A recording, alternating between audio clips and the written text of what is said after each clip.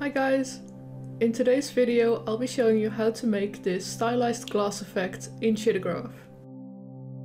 To create the effect we'll be using light direction, view direction and Fresnel. As always there is a link in the description that contains the Shader Graph file and the text tutorial for this effect. Let's get started. So here we are with the testing objects that currently have the standard transparent shader on them.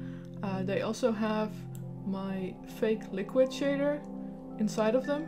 Uh, if you want this shader, uh, the link is in the description to the post that explains it. So the standard shader is fine for realistic objects, but I want something more cartoony. So let's start by creating a new shader graph. Go to create shader and we'll be using the PBR graph. Okay, and right away I'm going to create a material from this, so right click on the shader and go to create material. And I'm going to drag it onto all of my objects. Now open up the graph and the first thing we'll be doing is adding in the light direction. At the point of making this video there is no node just for the light direction so we're going to have to use a custom function node. And this node lets us write a bit of code to add in some functions that are missing in Shader Graph. So click on the settings and then set the type to string and we will be outputting a direction. So set it up to a vector 3 called direction add in a name for the function. And then for the body, we're going to start off with if Shader Graph preview so that while looking at the previews, we can actually see something.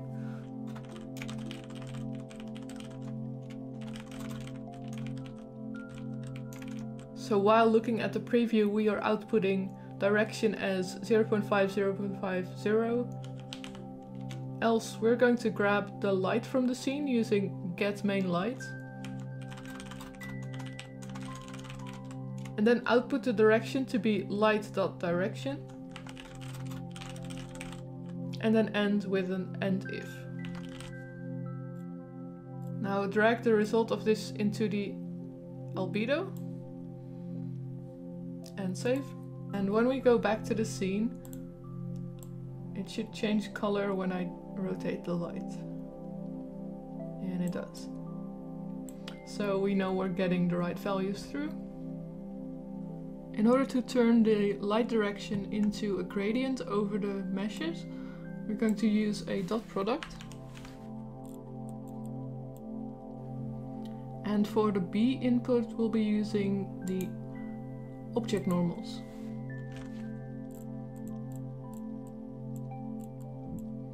And when we output this, uh, I'm going to put it into emission so the object shadows won't get in the way.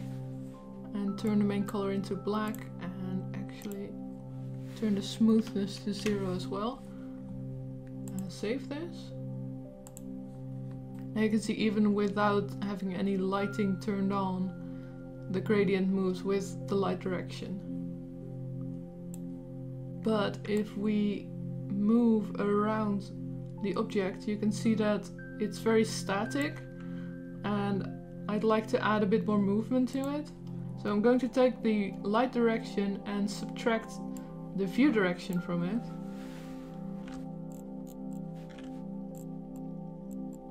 And make sure the view direction is set to object as well. And then put this into the dot product. Save it.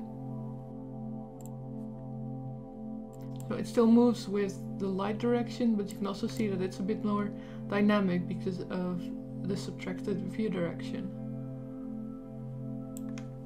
Now to turn this from a gradient to a sharper effect, we're going to run this result through a smooth step. It will be the in input. And as a quick test, if I set this one to 0.5 and this to 0.55 and drag this to the emission slot, you can see in the preview that it's a much sharper result. There's no longer a gradient there. But we want this to be controllable from the material settings, so we're going to add two new vector ones. One for the light specular cutoff. And set it to a slider default 0.5 and then another one for the smoothness. And again make it a slider and set the default to something small. Uh, drag the main cutoff value and put it in edge 1. And then because the, the edge 2 should always be a little bit bigger, we're going to add the smoothness to this cutoff point. Drag the smoothness in, add it and put it to edge 2 and save. And now in the material settings we can choose where the cutoff starts. If you set it to zero, it'll be very crisp again. And then the higher this value is, the smoother it'll get. So that's step one. Um, let's now add in the view specular. Gonna clean this up a little bit.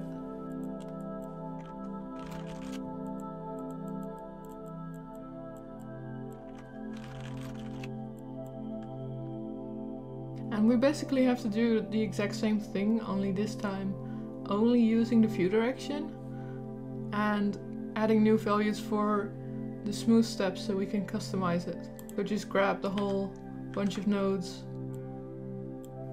and paste it and then delete the subtract node and drag in the view direction into the top slot of the dot product and then replace the light specular cutoff with one for the view direction. The uh, smoothness, you probably want it to be the same between the two specular effects, so just keep the same one there. I'll make a new one for the view spec.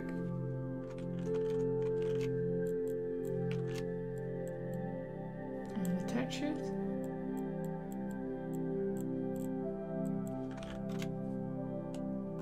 As a quick test, just output this instead of the light direction one and save. And 0.5 is a little bit too low for the view spec, so bring that up a bit. And now when you rotate it, you can see that there's a nice specular effect for the view direction. Next up we're going to add some color to both specular effects, so add both of them together. Add in a new color property for the specular color. And make sure the default is set to something which isn't 0% opacity because otherwise you won't see it. Drag it in here and multiply it with the specular result.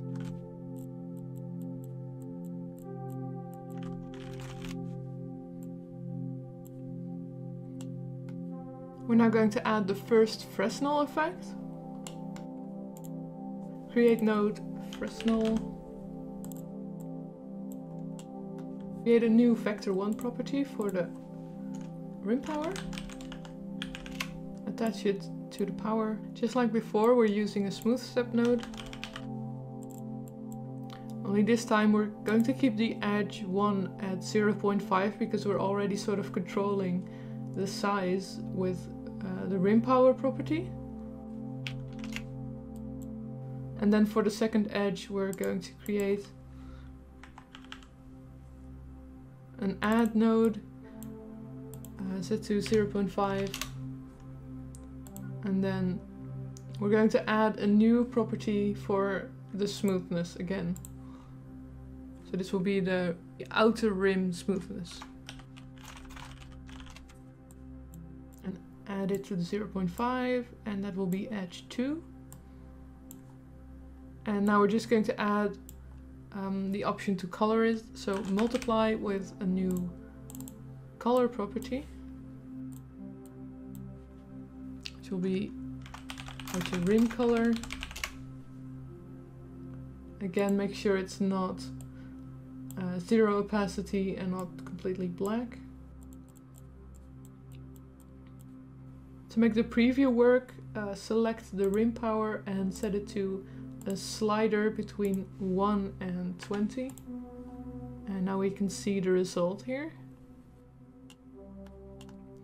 So let's plug this into the emission to test it.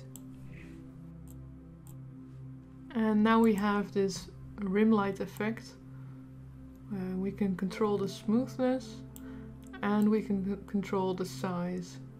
And now we want to do this again, but inverted, so we have sort of a nice glow at the center. It'll look very similar to the View Specular, but the controls are a little different and, and it sort of adds another layer, a bit of depth to the effect. So let's group this all together for the outer rim. We're going to copy all of these nodes for the inner glow and create a new rim power property for this inner glow.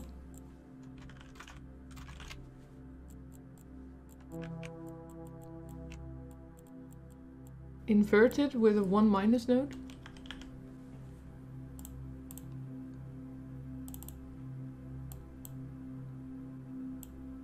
And invert the values here, so instead of edge 1 being 0.5, uh, edge 2 will be 0.5.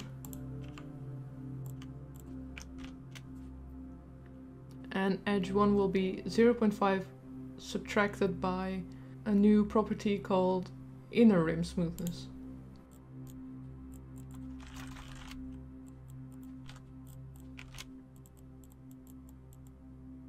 And add a new color property to control the color of the inner glow.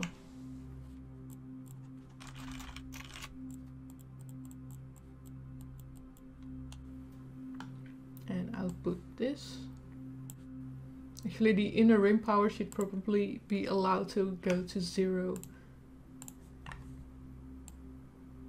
There we go. And now all we have to do is add everything together and add in another color property to tint the whole glass piece.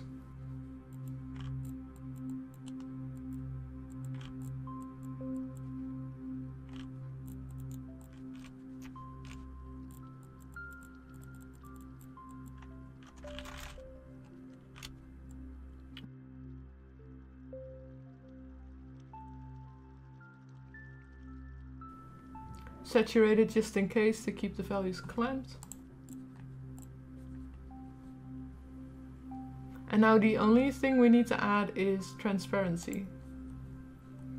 So go to your PBR master and set the surface from opaque to transparent. Now we need to populate the alpha. So split the colors from the alpha by using a split node um, reconstruct the RGB in a vector 3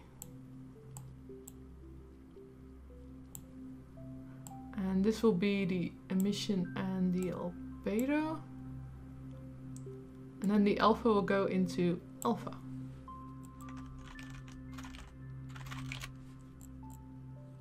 Uh, it doesn't look transparent yet because we're adding a full alpha to it. So let's make this a bit lower.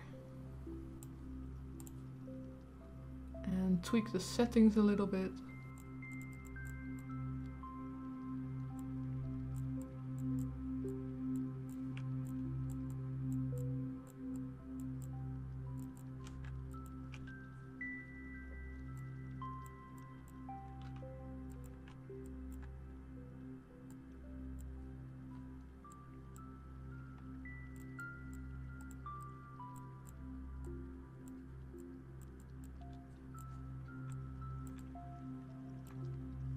So there's one more step we can take um, to add sort of like a toon ramp effect over everything. So let's do that. we're going to take the light direction again.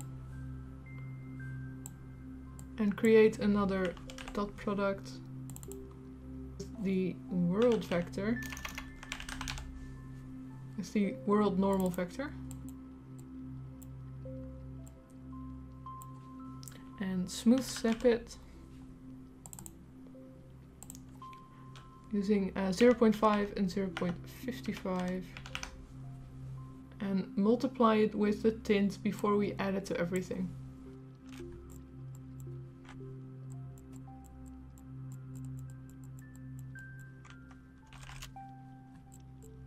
And now the main tint is sort of like a toon ramp over everything, which I think looks nice. And that's the setup for this shader.